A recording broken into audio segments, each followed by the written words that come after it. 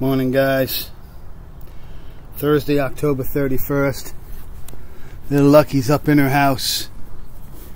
She's gonna lay down for a little while, take some snooze time, I hope. You'll be good, girl. Got the sun coming up over the horizon. Gonna be uh, beautiful sunny day.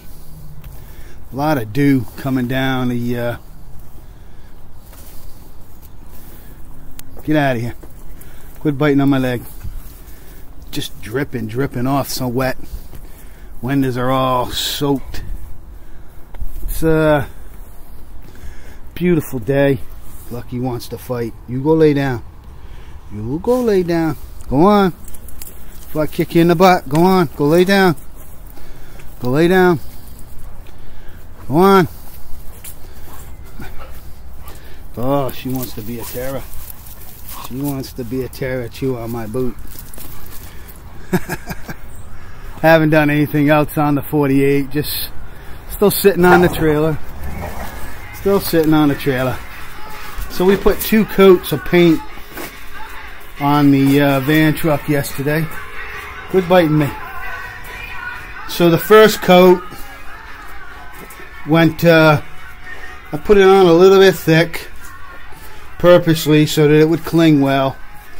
Then the second coat, I uh, thinned down just a little bit more so that it would make it all lay flat.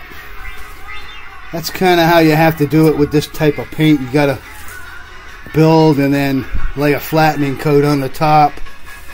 Urethane enamel. A lot of suicide bugs flew in.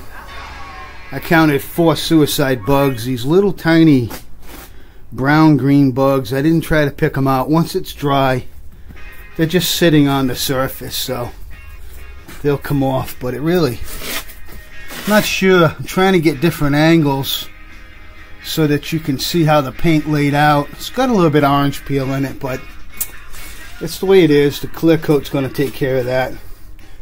Finished uh, going completely over this with the thousand grit.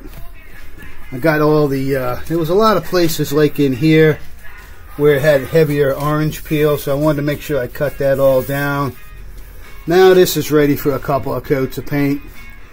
Not today. I gotta let this sit inside. In fact, I'm not even gonna touch it. I'm just gonna let it sit here. Let the paint cure. Not even gonna take the tape off yet.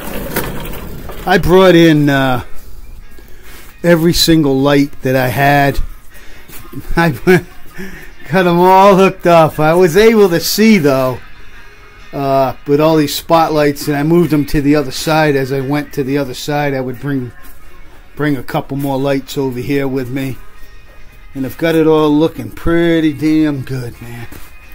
It's hard to see, I'm sure, with this camera.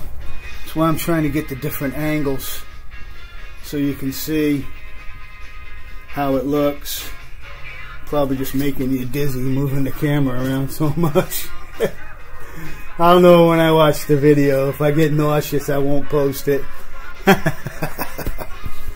Looks good though. Just gotta let it dry now. Plug these lights. The uh, the thing is with this paint, it's not uh, it's not automotive paint. Like I said, it's industrial enamel.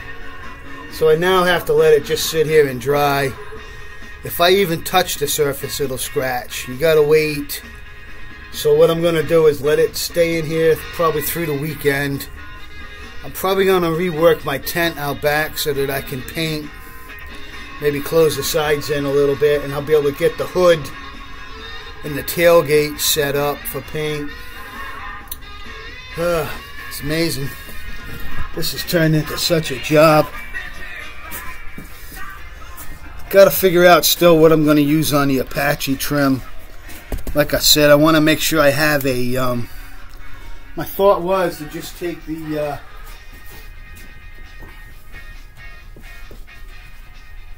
take this tape, cut the roll in half, and uh, then just use this tape on the back of the Apache with this clean line meeting the clean line on the outside So that's my thought now is to maybe use this. And this stuff is would work. It's going to be sandwiched there. I don't know how though. It's I mean, it's water resistant, so it's not like water's going to affect it. So it might work pretty well. I don't want to use a sponge or something like that. You know what I mean? So putting a little thought into it, and I'll find the right product eventually. But right now, Gorilla Tape's looking good. Out from uh, Rusty Rhode Island, guys. You see what's going on here? It's Thursday. Halloween tonight.